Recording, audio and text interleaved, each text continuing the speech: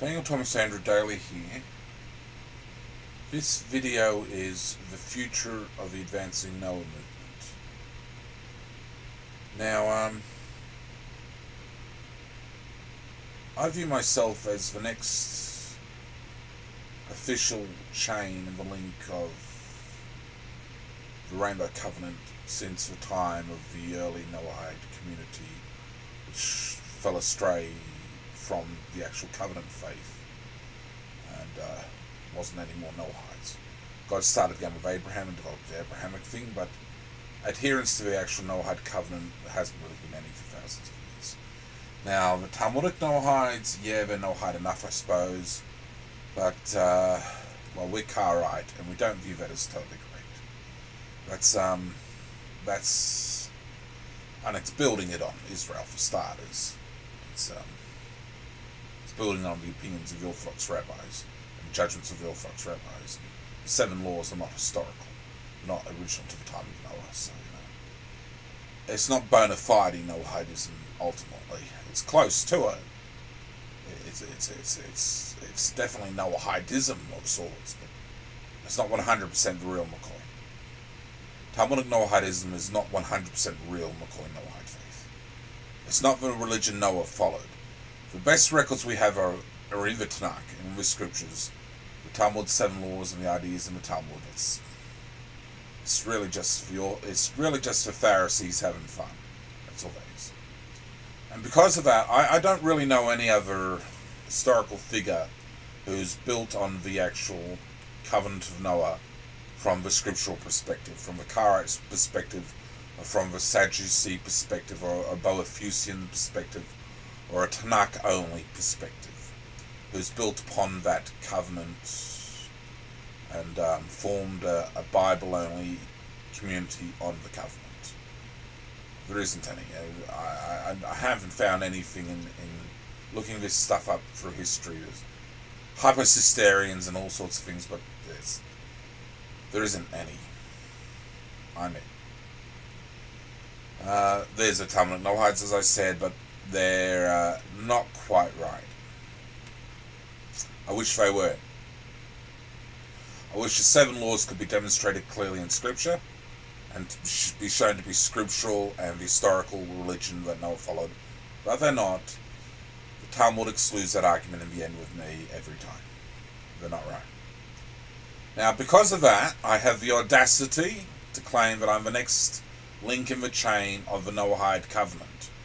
The Abrahamic people, yes, I know all about the Abrahamic people in Israel and 4,000, 5,000 years of Jewish history and all, all the observant people of Israel who've kept the covenant that they have with God. But it's a separate covenant to us.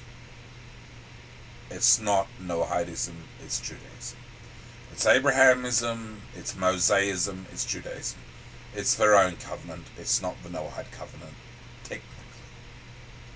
It's a new covenant. It's a separate covenant. It's not mankind's covenant. So when you when you understand those basic bits of logic from where I'm coming from, you can see that why I view myself as the next link of a chain from the time of Noah to today. Because I can't find anyone else. I mean, the world follows Christianity. And if you're into Torah and you know it well enough and you know that Jesus is not God and he wasn't even the Messiah, you know that's just an idolatrous thing which the Western world got caught up, got caught up with. Yes, there's been millions of biblical believers in mankind, but still they're not getting it quite right. Not 100% correct. They're still off a bit. There's been so many people who've drawn pictures of Noah and done artwork of Noah throughout the church's history, and who've celebrated the figure of Noah and Adam and Eve and the, the patriarchs, and have been loyal to those patriarchs probably somewhat in the hearts, and, and have walked in the Noahide family of man traditions in some ways and learned the, the scriptures of the Rainbow Torah, Genesis 1 1 to 11 9. So many people in the church have read that, and probably citizens and citizens of mankind have read that, but they haven't adhered to the covenant without either adding to it, which the Talmud Noahide's doing, or trying to, in some ways, doing away with it, which the Christians sort of do a bit with their new covenant. So if you can see all that all those bits of logic where I'm making my argument, there isn't anyone else who's building directly on the Noahide covenant. I'm the next link in the chain. Now, from, I suppose, well, from Adam and Eve to Cain and Abel to Noah, we have histories of peoples in the Torah. It's only a bit of basic history going on. There's not a huge amount of history in the Torah, but the community does advance, and it does progress, and it does carry on. And the covenant of Noah community ultimately has carried on today in this 21st century with me. There are current Noahides out there now who acknowledge the fact that, you know, the Talmudic Noahide thing is not really right. There are now some current Noahides who acknowledge that the seven laws are not really historical. So there are others who are building on that chain of the original Noahide community. I'm not alone anymore. I'm not the only person doing it. There are some others now. In the Karaite Noahide group on Facebook, there are some other people now doing it, building on that original chain. Now, as I was saying, from we go from Adam, and we have Enoch, another man of righteousness, and we have um, Noah, and Shem, Ham, and Japheth, and the Noahide nations. They pass on the torch in a, in a way. The sons of God continue to walk with God, and the community of God, following God Almighty, the Creator of heaven and earth, goes on, and the Noahide community goes on to this day, and it's it's reborn in a sense now, and it's marching on. I'm not talking about the Abrahamic covenant. They're there, the Jewish people, there they are. They've got their own covenant. They've got the Berit, as they call it, but that's for them. They extant, they still exist. If you want to be Jewish, go for convert to that. I'm not talking about that. I acknowledge that. That's there. That's not the issue that I'm drawing. that's not the point that I'm making. Now, because I'm the next link in the chain, and some others around in this generation have chosen current Noahide faith with the next links in the chain, we have a living history in this era of being alive and being representatives and names of the Karaite Noah community of the Noahide covenant. Karaite just means Hebrew Bible, which is the official scripture book. But really, we're Noahides and we're representative of the covenant that God has with mankind. We're representing on that covenant. And we're the next, as I've said, link in the chain. And because the early fathers, they passed on, the tradition passed on the sons of God as a community went through time, we go through time and we have a living history also. And because their living history was recorded in writings and taught as religious tradition, our generation, building on the covenant community, our living tradition can be taught in religious ideology also. We're not allowed to add to the Torah of Israel. You know, Jewish people aren't allowed to add to the Torah. It's finished. Deuteronomy commands that. There's no commands upon the Noahide world of any similar command not to build on our traditions and to continue on for our covenant. There's no commands directed at, at us for that. You know, so, uh, uh, Noahide was talking, a Talmud Noahide was talking on a video I watched on YouTube, the advancement of the Torah. You know, that the, the, there's the Torah with Noah and the advances with Abraham. Well, no, it's a separate Torah. It's not mankind's Torah, mate. That's Abraham's Torah. It's a new Torah for them. The advancement of the Noahide Torah, Genesis 1 1 to 11 9, is with us. It's not with the Jews. It's with Noahides, because they have a separate covenant. We're the Noahides, it's our covenant. The advancement's with us, and with those who, who use the term Karaite, because that's the actual scripture book. Talmud is not the scripture book, it's not the word of God. It's man-made. It's false traditions. So the community carries on with us, and we can have our own history, like the early patriarchs had their history. We can have our own history, and we can record things. And the early patriarchs had religious ideas. We can have religious ideas.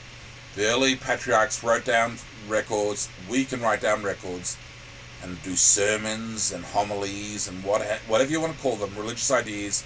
Write down our life stories. I've done my autobiographies.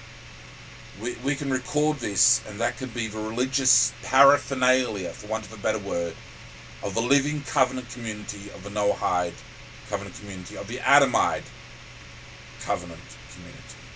We're still that living witness as the community of mankind goes on.